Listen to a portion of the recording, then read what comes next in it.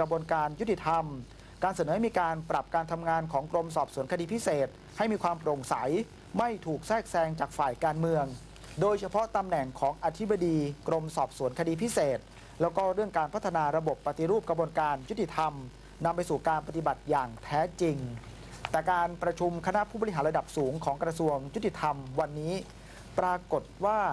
มีอดีตข้าราชการ มีมีข้าราชการที่อยู่ในฝากฝั่งของอดีตรัฐบาลหลายคนนะครับ ไม่เข้าร่วมประชุม ไม่ว่าจะเป็นพันตำรวจเอกศรีหานาถประยุรรัตน์เลขาธิการปปงพันตำรวจเอกณรัตน์สเวตนันอธิบดีกรมคุ้มครองสิทธิและเสรีภาพ คุณวิสิทธิ์วิสิทธิ์สระอัตอธิบดีกรมบังคับคดีพลตำรวจเอกชัชวานสุขสมจิต รักษาการอธิบดีกรมสอบสวนคดีพิเศษหรือว่า DSI นะครับซึ่งทั้งหมดนี้ไม่ได้เข้าร่วมประชุมด้วยนะครับ แล้ววันนี้นะครับวันที่ 26 พฤษภาคม ก็เป็นวันที่น้องๆ กลับมาเรียนกันตามปกตินะครับ